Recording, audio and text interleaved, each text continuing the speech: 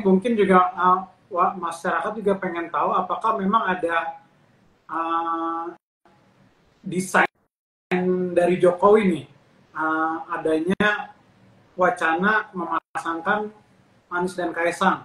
Dan kalau misalnya memang desain dari Jokowi kan kita tahu Anies dan Jokowi ini apa ya hubungannya tidak terlalu baik begitu, terutama semenjak di Pilpres dicitrakan seperti itu begitu.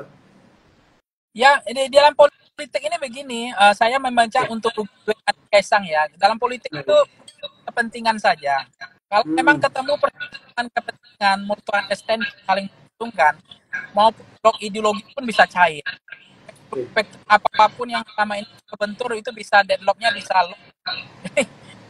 kalau persamaan kepentingan ketemu ya apalagi memang peluangnya Kaisang mengatakan pasangan dengan Anies peluangnya lebih besar yeah. Kaisang mengatakan bahwa elektabilitas ada lawan tanding sejauh ini per hari ini lalu memang jangan lupa juga bahwa Anies juga kan karena ke incumbent di Jakarta juga banyak yang kolaps juga banyak yang KO juga kan.